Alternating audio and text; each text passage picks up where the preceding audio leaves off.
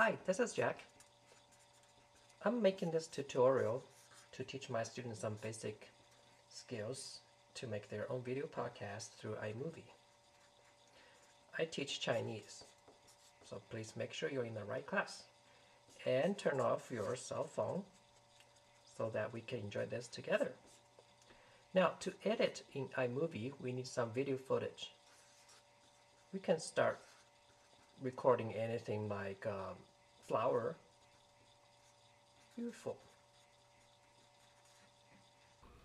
To capture your video from camcorder to your computer, you need a firewire cable. Let's start.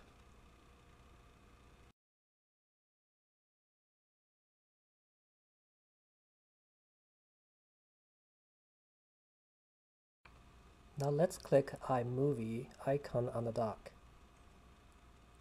A window will pop out with lots of options for us to choose. Let's create a new project.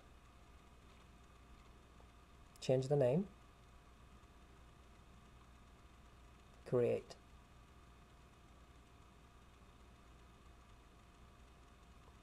This is where we are going to work on our clips.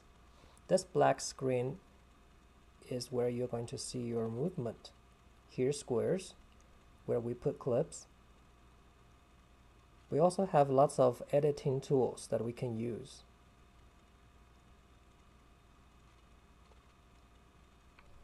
You can drag your clip here to build your project.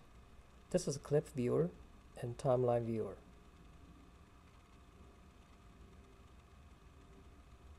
This is where you play your clip.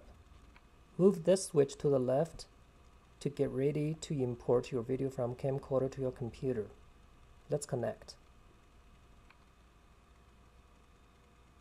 Once your computer and the camcorder is connected, you can rewind and fast forward to find the point where you want to start. Then click import. 你好， Here's your clip. 你好。